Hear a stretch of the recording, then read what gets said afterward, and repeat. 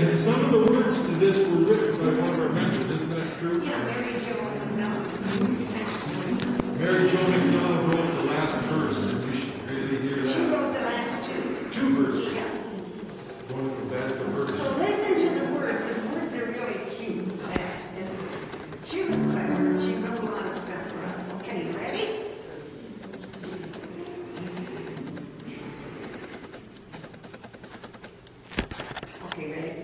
One, two, three, four.